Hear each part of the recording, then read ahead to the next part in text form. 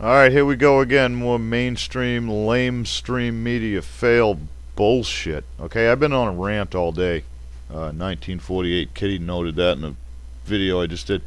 And you know why? It's because I started out my day doing something I never do. I vegged in the recliner and watched, uh, I don't know, 40 minutes of lame stream media news as I got the kids off to school and then maybe a few minutes after they left. And I'm just disgusted. Okay?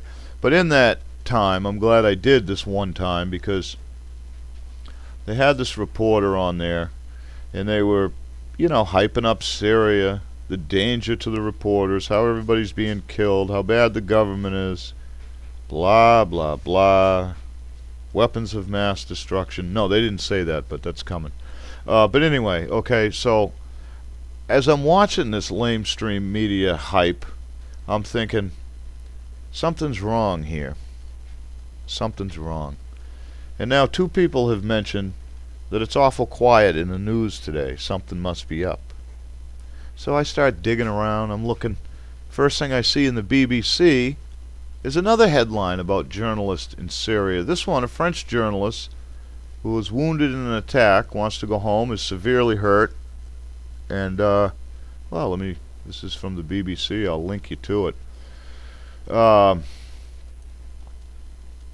the French journalist who was wounded in an attack on the Syrian city of Homs on Wednesday has asked to be evacuated from Syria quickly, saying she needs urgent medical attention. Now, I, we're not there, and I would hate to think that these independent journalists uh, uh, are not reporting the truth, but you know what? I don't know anymore. How many of them have been paid to say what?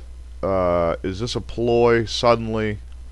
All of a sudden, one a journalist killed just the other day. I prompted the story this morning. Now this headline, millions of people are going to see this. Two people, two journalists now. They're going to lock down the media. Is that already going uh, going on? Is anybody else noticing that? No news today. I mean, the trending topics are still there, you know. Uh, but is there any any real news? I don't know if this is real news.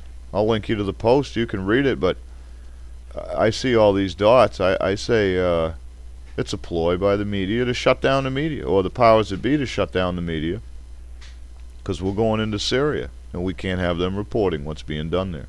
That's my take on it. Good Lord. It's only noontime, and I've been ranting for hours. It, I'm going to need a nap after this.